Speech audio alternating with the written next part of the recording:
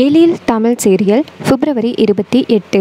இன்றைக்கான எபிசோடில் என்ன நடந்துச்சுன்னு பார்க்க போகிறோம் அதுக்கு முன்னாடி இந்த கதை ரொம்பவே சூப்பராக இருந்துச்சு. உங்களுக்கு எந்த அளவுக்கு பிடிச்சிருந்துச்சு அப்படின்னு மறக்காமல் கமெண்டில் என் கூட ஷேர் பண்ணிக்கோங்க. கதை எப்படி ஸ்டார்ட் ஆகுதுன்னா நம்ம தமிழ் வந்துட்டு ஒரு பைப்பை வச்சு அந்த ரெண்டு பிள்ளைங்களும் அதாவது கவின் காவ்யா அவங்க ரெண்டு பேர் மேலேயுமே தண்ணி அடித்து விளையாண்டுக்கிட்டு இருக்காங்க. அப்போ திடீர்னு நம்ம எழில் ஃபோன் பேசிக்கிட்டு இருக்கவரே இடையில வந்து நின்றுட்டாரு இதனால தமிழ் தெரியாமல் அவர் மேலே தண்ணியை ஊற்றிட்டாங்க அப்போ எழில் சமயம் முறைக்கிறாரு நம்ம தமிழை. அப்போ நம்ம தமிழ் சொல்கிறாங்க நீங்களும் மாடி பார்த்து எடுத்துக்கிடுங்களேன் அப்படின்னு. அப்போ டக்குன்னு எழில் முறைக்கிறாரு.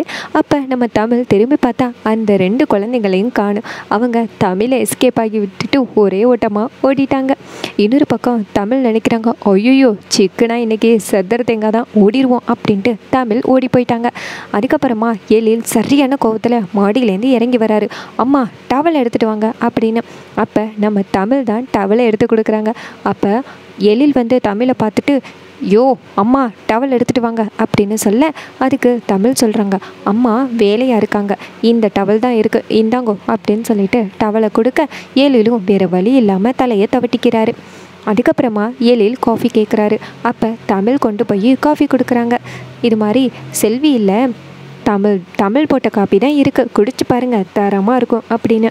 அப்போ எழிலும் அதை குடிச்சிட்டு பரவாயில்ல அப்படிங்கிறாரு. அதுக்கப்புறமா எழில் சாப்பிட உட்கார்றாரு. அப்போ அவருக்கு இருமுது.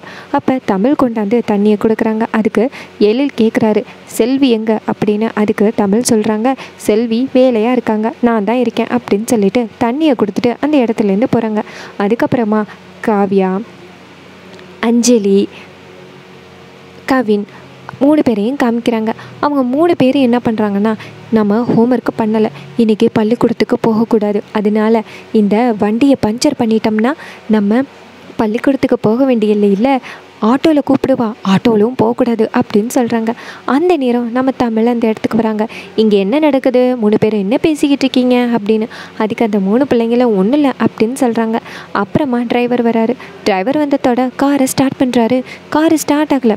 அப்போ தமிழ் சொல்கிறாங்க சரி அந்த ஒரு கார் உங்கள் அப்பாவோட கார் இருக்குல்ல அவருடைய காரில் நம்ம போவோம் அப்படின்னு சொல்லிட்டு போயிட்டு எழில்கிட்ட இது மாதிரி நீங்கள் போகிற வழியில் தானே பள்ளிக்கூடம் இருக்குது பிள்ளைங்களை மட்டும் இறக்கி விட்டுருங்களேன் அப்படின்னு அதுக்கு எழில் சொல்கிறாரு நான் கேபை புக் பண்ணுறேன் அப்படின்னு அதுக்கு தமிழ் சொல்கிறாங்க கேபை புக் பண்ணால் டைம் ஆகும். பிள்ளைங்க பள்ளிக்கூடத்துக்கு போகணும் அப்படின்னு சொல்லிட்டு எல்லாருமே போய் காரில் உட்காந்துக்க எழிலும் வேறு வழி இல்லாமல் கொண்டு போய் பள்ளிக்கூடத்தில் ட்ராப் பண்ணுறாரு அப்போ தமிழ் மறுபடியும் ஏறி வந்து காரில் உட்காருனாங்க அப்போ எழில் கேட்குறாரு ஏய் எனக்கு ஆஃபீஸ் போகணும்.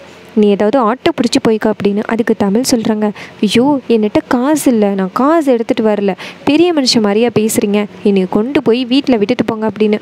உடனே எழிலும் வேறு வழி இல்லாமல் சீட் பெல்ட்டை போட்டுக்கோ அப்படின்னு சொல்லிட்டு நேராக காரை ஆஃபீஸ்க்கு கொண்டு போகிறாங்க அங்கே போயிட்டு இறங்குனா மனோகரி வந்து தமிழை பார்த்துட்டு கடுப்பாக்குறாங்க. என்ன இவ? எழில் கூட வரா? அப்படின்னு. அப்போ நம்ம தமிழ் என்ன பண்ணுறாங்கன்னா எழில் மறந்துட்டு போன ஃபைலை கொண்டு போய் எழில்கிட்ட கொடுக்கறதுக்காக கொண்டு வராங்க. அப்போ டக்குன்னு எழிலும் தமிழும் மோதிக்கிறாங்க. இதை பார்த்துட்டு மனோகரி செம்ம கடுப்பாக்குறாங்க. அப்போ எழில்கிட்ட கேட்குறாங்க மனோகரி ஏன் லேட் அப்படின்னு. அதுக்கு அவர் சொல்கிறாரு இது மாதிரி பிள்ளைங்கள கொண்டு போய் பள்ளிக்கூடத்தில் விட்டதுனால லேட் ஆகிட்டு அப்படி.